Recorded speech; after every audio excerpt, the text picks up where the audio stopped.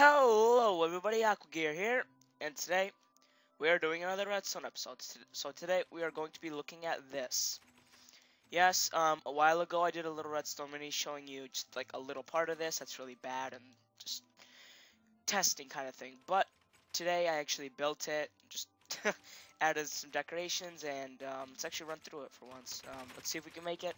Can we make it? Can we make it? I mean, you could just stand here, but then you could still fall. Oh, come on. I was three blocks, like, not, yeah, three blocks away, and then I almost won. Alright, well, let's go maybe two more times, and then I'll show you guys the redstone, so. Yep, and I'll just show you a couple of, oh, come on. I always fall right at the end. That's not even fair. Alright, one more time. And I'm going to actually try to make it this time, so let's go. No, you will not get me. No, no, no, no. Oh, oh, wow, that was really close. Um, Come on. I know I can... No! I was one block away. Come on. Alright. One more time because I have to get this on camera. Come on. Come on. Come on. Don't fail me. Did you... Okay. No. I'm gonna keep going until I win. Because that's how I do it. Come on. Let's go. Let's... Okay. As you can see, it's actually pretty hard. I've done, done this like six times, and I can't get past it, but I will. Come on. Come on. Yes, okay, I made it. Well, um, it's pretty simple. It just uses trapdoors and lava, so you're walking across, it falls like that. Let me just wait until it opens. So, really, all this was just decoration, but if we go to the redstone, which I will actually do something real quick. I know it's breaking the build, but I have really no choice. To go see the redstone, I kind of have to break it. Sadly, yes, I have to break it, but... Or break the lava, at least. Alright, so let's go under here, and I'll kind of show you the redstone. Let's break a small hole.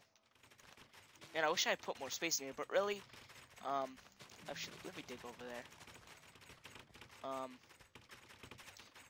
I'll put you back, don't worry. I just want to get at a better angle, you know? So, that over there, nope. There we go. So, what I did is, there's a clock right there, it's just six repeaters in a row, and it just sends, um, a signal to every single one of those and over here to get a little bit further. But all these repeaters have different um, ticks, so they just go off at random times. And yes, I'm going to fix this again. Should have got a better job, but yep, that's really how it works. It's just a bunch of repeaters.